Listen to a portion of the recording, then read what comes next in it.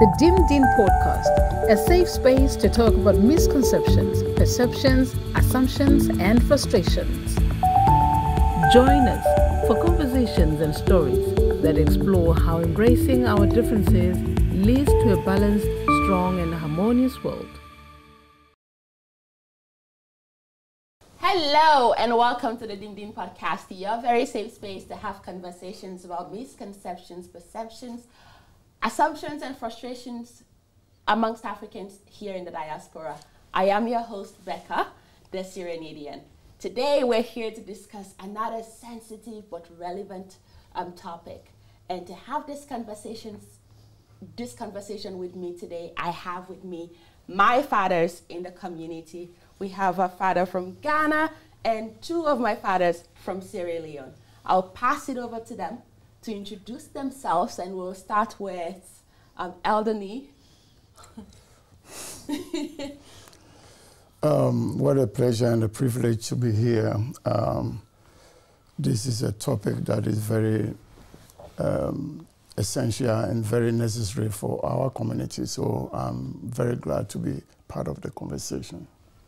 Thank you very much. Can you tell us a little bit about yourself and also would like to know a fun fact or a historical fact about your country of birth, Ghana?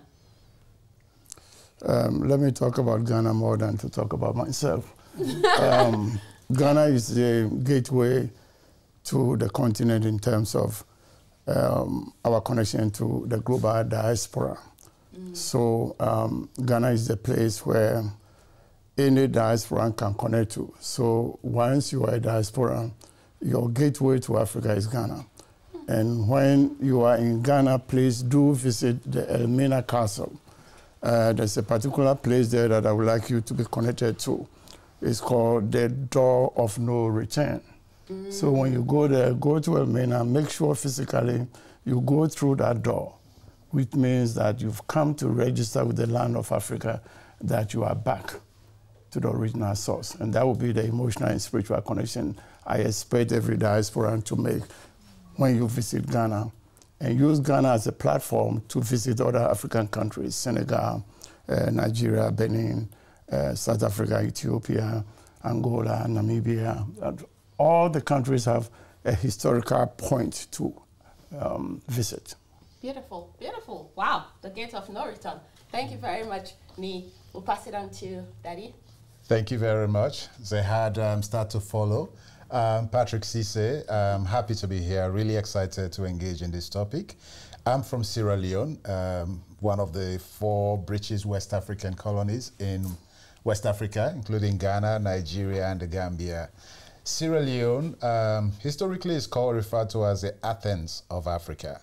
Mm. And the reason it's referred to as the Athens of Africa, it's in relation to civilization as well as the introduction of uh, what we would call academic knowledge. Mm. Like the oldest university, for example, in the sub-region, Fourah Bay College, was built in Sierra Leone. Mm. And there was a time when the colonial masters, I know we don't want to go down into the colonial pathway, they were more or less like based out of Sierra Leone because Sierra Leone has a Freetown, which is a capital city, mm -hmm. has a natural harbor. So ships were able to land very easily mm -hmm. and they were able to settle and uh, do most of the colonizing from that base in mm. Sierra Leone, Freetown. There's a lot of fun facts about Sierra Leone. Religious tolerance is quite unique in Sierra Leone. Mm -hmm. Yeah, I'm from parents who are Muslim and Christian, and mm -hmm. um, religious tolerance, like I said, is quite uh, unique mm -hmm. in Sierra Leone. So, so many fun facts and valuable things about Sierra Leone. Beautiful. So the gateway and the Athens. Thank you both very much. We'll pass it on to you. uh, my name is Kemoh Mansaray, and uh, it is uh, difficult and hard to follow after these two wonderful gentlemen have spoken. Uh, interestingly, uh, I'm also from Sierra and one thing that uh, probably the, the connection Canada has to Sierra the first 1,500 slaves who were freed in Nova Scotia were sent to Freetown. From that is the link between Sierra Leone and Canada. And if you go to Nova Scotia, you'll actually see some of those historical facts about the connection between Sierra Leone and uh, and uh, Canada. And one interesting thing that I found out today that uh, uh the gentleman sitting uh, near me here is my senior. We went to the same school uh, in Sierra Leone and uh, I won't say much here. I have to control myself, or else uh, I would be uh, giving some historical facts that I need to know about attending a boarding school. so it's a privilege for me to be among these uh, young people here. Well, thank you all so very much. Okay, so now to the topic of the day. In about eight months, we lost about three members of our family my paternal grandpa, my paternal grandma, and my paternal um, uncle. And this was a heavy period for us because, of course, three people lost in eight months. Not enough time to fully understand each loss or even grieve each loss. We were far away from home, and I personally did not get a chance to go back and say goodbye or say my last goodbye any of these individuals. This was the very reason that I started thinking about this topic in a different way. I wonder how many people go through grief and loss here in the diaspora, having to grieve the loss of their loved one back home, and what that looks like for each individual. And because of that, today, we're going to talk about the frustration that we experience as Africans here in the diaspora as we try to grieve the loss of our loved ones. There's no better people to have this conversation with me today than my elders and fathers here who have each experienced a different kind of loss and have had to go through that process in their own way. It is a heavy conversation for sure, but we'll take our time and talk about it and give it the detail that it does deserve. I'll pass it back over to my fathers to talk a little bit about their experience of the different types of loss that they have had and how they went about grieving that loss. Can I start with you, Mr. Kemoh? Sure. As I said, my name is Kemoh Mansaray. Uh, a few years ago, I lost my son, uh, who was in Africa, and uh, grieving is individualized. Uh, but again, it is community, it is cultural, but uh, it is uh, something that takes a little bit of time. I lost my son, whom I have been trying to bring uh, to Canada since I immigrated to Canada. Unfortunately, when I was immigrating to Canada, I was not able to bring my son. And so I tried, I tried. Uh, the immigration system failed me. And then I tried to go back to meet with my son, and at one point he actually asked me, Dad, I just want to see you. I know you're doing everything for me. I just want to see you. And I was busy with school and other things here, and I was not able to go. Mm. And then I was driving to Lloydminster, uh, where I work. I work out of town. And uh, the moment I reached my apartment, I got a call from Sierra Leone that uh, that early, I think it was around 12 midnight, that uh, my son has passed. My son, I spoke with my son two days prior. He went to the beach, played soccer with friends, came home, and he was not, uh, he's gone. Mm-hmm. So I had to inform my manager that I, I had just left Edmonton on the Sunday to go work because I usually leave Edmonton and go to Ed, uh, to Lloydminster to work. And I had to leave at Lloydminster again the following morning to come back to Edmonton. And usually that trip takes me around two and a half hours uh, of driving, three hours.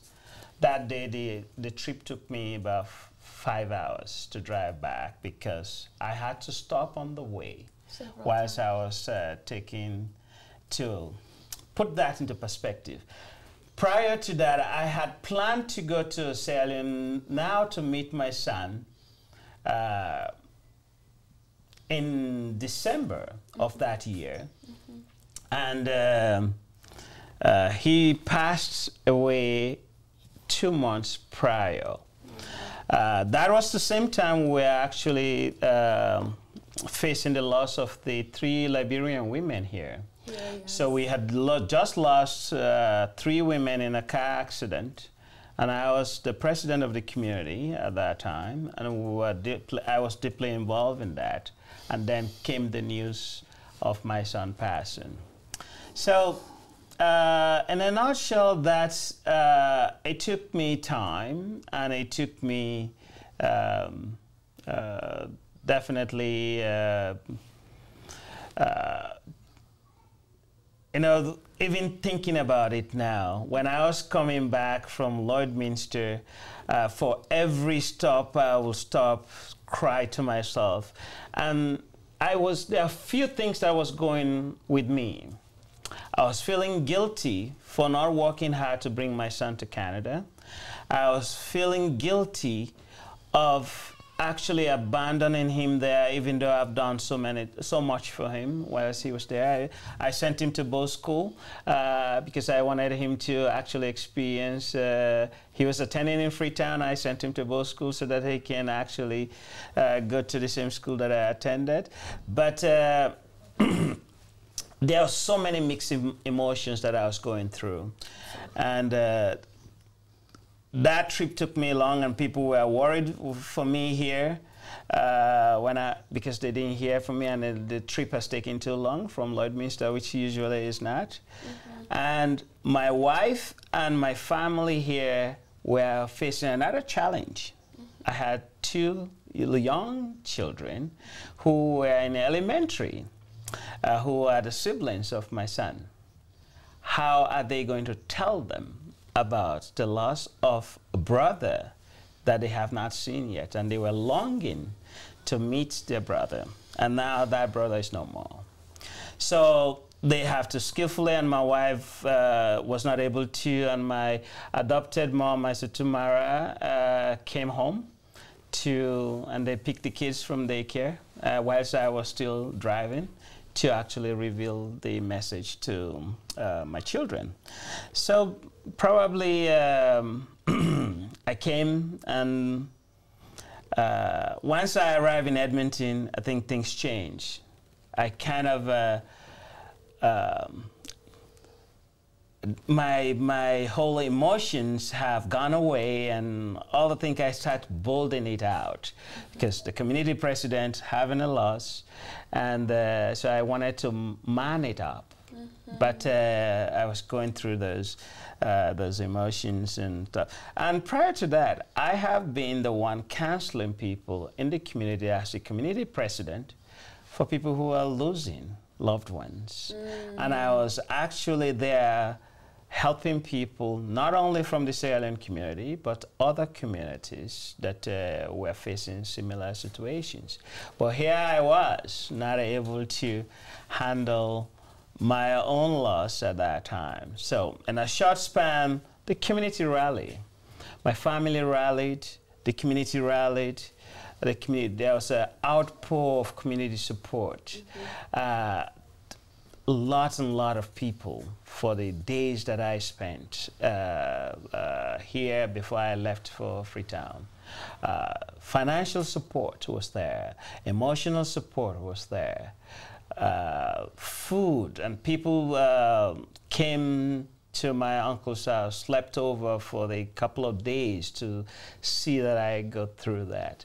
But it- it's totally different. Uh, after all the dust is settled and you're left alone, grieving is totally different And as an individual when you lost somebody. Uh, so that would be uh, part. So that is just uh, an introduction of my loss, and then we'll go further into uh, that. Um, uh, I've lost my parents, uh, both of my parents, prior, but my son, and comparing that to when I lose my parents who are very close to me, it's totally different. Thank you. Thank you so much. And again, I'm sorry for your loss, both the loss of your son and that of your parents. Um, and you've, you're definitely starting us off on the path that we need to be, and I appreciate your input. And yes, a lot of things come up guilt related, but knowing the man that you are, I'm pretty sure even though you were not able to bring your son, you did a lot to support him with what you did a lot with what you had at the time. But we'll come back to the resources piece and the support that is available here in the diaspora. Over to you, Daddy. Yeah, um, I think to address that question, I will go back to a particular day um, last year. I believe it was sometime in June. I was going with my wife and my boys. We were going to a hospital to do some just scanning test for my son. And unfortunately, my wife was driving. and then my phone rang. And it was my eldest brother who called to say, Papa is at the point of death. And I said, Point of death? What do you mean? My dad is elderly and he has not he's not been very well, but very strong. And I said, Where are you? He said, At the hospital uh, at home. Don't let him die at home. Take him to the hospital, was the direction I gave. So they eventually took him to the hospital and um, they were able to support him during that time. The one thing with grief and loss, I think having a very strong family supporting you is very important. Mm. Because in that short space, my wife and I sat down and spoke, and then he, she could read me like a book and ask, You should go. Go and see him. So I called my dad and said, Hey, I'm coming. And I don't know if it's the hope that I was coming, and I've told him that I was coming, kept him. And I'll talk to him every day until I was able to make it. He was still in hospital, but I was there. And we spent some good time together. Even though he was poorly, we'll come to the hospital, sit in the room with him, spend some time, talk, and then go back home. And the good thing is, we even got him out of hospital. He got discharged stayed with him for a few more days and having the strong and supportive leadership team as well at the workplace also helped mm-hmm. because my, my bosses came to me and said take all the time you need if you need to extend the time that you're away for extend it just send me a, give me a call and let me know so I was there and I had the option to extend my holiday, but I saw my dad was out of hospital and I thought, okay, let me go back. We spoke. I left on the 3rd of August. Arrived here on the 4th of August. Because of a time difference, that was already late in Sierra Leone, so they were already on the 5th. And then by 2 a.m., before, because normally I'll come back and then I'll call and say I've arrived, because that's the call they were always eagerly waiting for. Mm-hmm. And then just for me to get a call around 2 a.m., I got up to use the washroom, not knowing that I saw lots of missed calls on my phone. And then at 2 o'clock, the call came to say my dad was gone. So it was shocking, but I did not even know. Sometimes the shock hits you in such a way that you don't even know how to respond. Yeah, And, I you- just, You said something about um, support at workplace, and I think it's crucial. And I think I actually uh, benefited from that as well. So during the time of loss, my manager uh, gave me all the time Yeah. as well Yeah. because sometimes you need that time Yeah. because I had to travel. You don't have to and worry. then these are some of those things because everything has to be emergency. You got to Mm-hmm. uh, look for visa. You got to look for that. Uh, so many things has to be in place when you have to go back home. You have to, and many cases we're obligated to go back home in Yeah. those cases. And that is the thing, because it's unplanned, you need to get that support to be able to feel and not worry about some of those things. So, lost my dad, and the whole challenge started. My wife was with me, her family was there supportive. The little community we live in in St. Paul, we have a huge Cameroonian family there. They all came mothers, sons, children to support. My children, of course, were very supportive. We were able to rally and see what we can do prior to me traveling. And my wife said, No, this time you're not going alone. You need the support. And we traveled. We know it was going to cost an arm and a leg, but we tried with the support from family, the um, my old school, like uh, Mr. Kemoh said here, we came from the same school. We belong to some association. They also were able to rally and provided some financial support, and uh, we made it eventually to Sierra Leone. Buried my dad. My mom became poorly from the time my dad passed away. And like you said earlier on, you lost your paternal grandparents, who happened to be my parent. Um, five months after I lost my dad, my eldest brother, who was a surviving eldest brother, and that's the person that has been the forerunner, con- like the contractor for all of our projects. Everything we're doing in Sierra Leone, he's the source, the person I go through and unfortunately had a problem with his leg. Leg was amputated. Got uh, uh, uh, uh, which I believe must have been some blood poisoning when he got home around about Christmas, and in January we lost him exactly five months after my dad, and then three months later we lost my mom.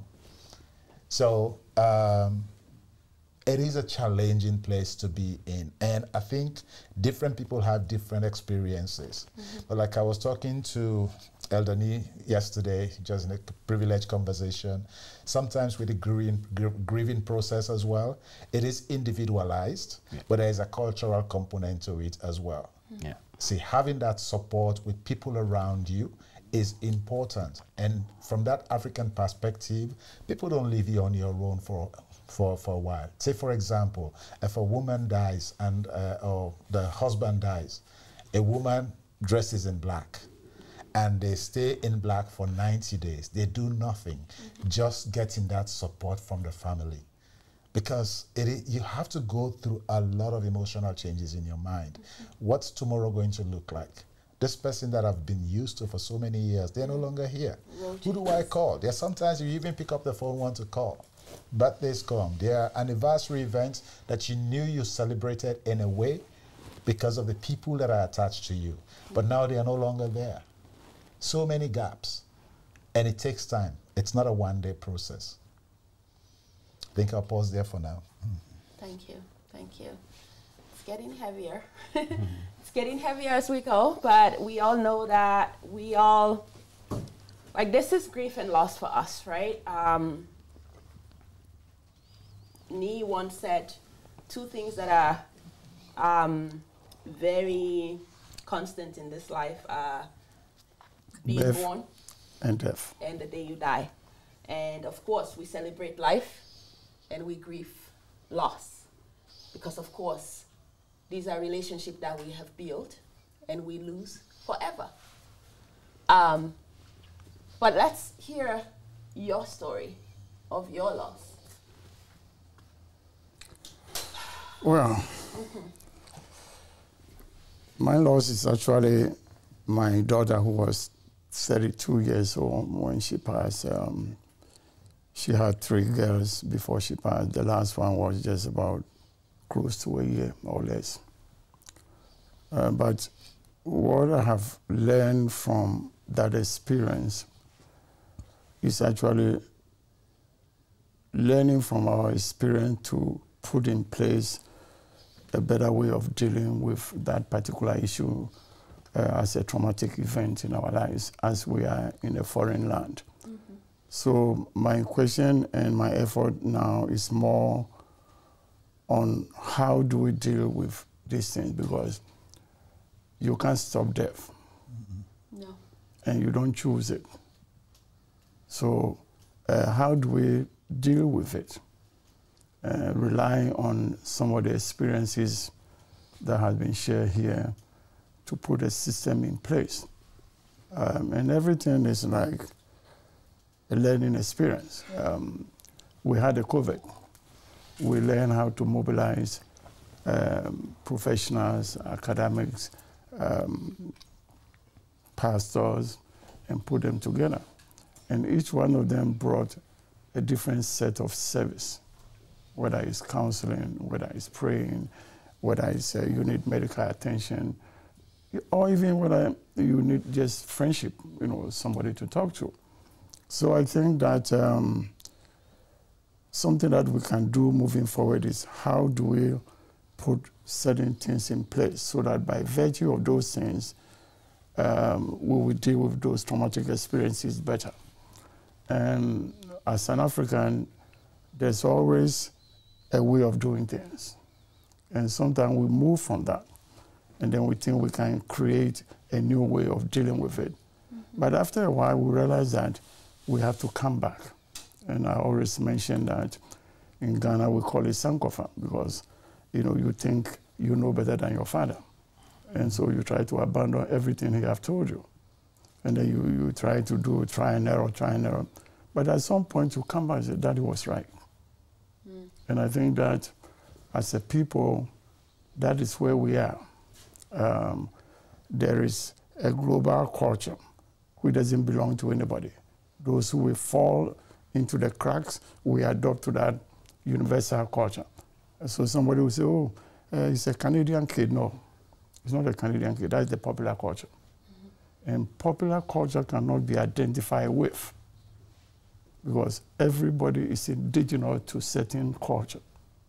And that's what have been proven to sustain you for all this time. So if you've been here as a person of African descent, minimum one million years, and we've kept certain things in place and it's worked very well. So we came up, as I referenced earlier, that we thought we knew better than our parents. But now we're coming to realize that all the new things that we are applying is actually not working. Because um, when somebody passes away, we mourn. When a child is born, we celebrate. So we have a new culture where sometimes I see on the poster when somebody passes away, what do you call it, obituary or something like. Celebration of life. Celebration of life. And then you ask the question as African, at what point do you celebrate death? Because there's two things, life and death. Mm-hmm. We mourn and we celebrate. So if you're an African, even I remember the day I was leaving Ghana, my family came to the airport, they were crying because I was leaving. Mm-hmm. And they were not sure when they would see me again. So any departure is mourning.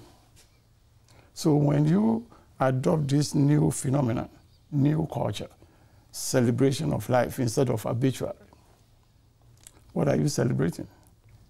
You say, oh, he's going to a better place. Who told you? That is a better place. There's no evidence anywhere that when you die, you go to a better place. So you are in delusional. Mm-hmm. the reality is that, I'm sorry, you're never going to see that person again. And that is the fact. But sometimes, as African people, we are challenged by our belief, which is perception. But when we prove to you the fact, because of that belief, you refuse to accept it. and what is the belief? What is the, the fact? The fact is we sustain the family better than we are today. Mm-hmm. So that proof is there. We created the concept of a family, and we function better and survive better within the context of the family. So the family is not an institution of the government. And you cannot take the family as an institution over the church. The church has to recognize that the family is an institution. Mm-hmm. And when the family functions better, the church will also function better. So you can't say, I'm creating a church family. There's no church family. If the family is weak, that church is weak. Mm-hmm. Because when you go to the family, you will see 80% of the people within the church are coming from broken homes. So where is the family? The family is where I'm responsible for you, you are responsible for me. Mm-hmm. So we coined the term the spirit of Ubuntu. I am who you are, or I'm here because you are here. So this is the basis of the African culture that allow us to overcome. And if you don't believe me, then look at the people in the world who have overcome more than any other. We are overcomers because of that belief system that I have a brother in you, I have an uncle in you, have a sister in you. Every African woman is a mother. And these are the basis for our survival. So if you are ready to give that away, my question is, what do you replace this with? Beautiful. Beautiful. This is where we are. Beautiful. So with that, I yield. Yeah. beautiful, beautiful. Thank you. Wow, we've had a very emotional conversation between myself and my fathers in the room. And because we're mindful of the viewers that are watching as well, and we want for you to be able to take a breath and take care of yourself, we're going to cut this episode here for now and bring you part two next week. So until part two, please take care of yourself and sabe sanding din. I'm back.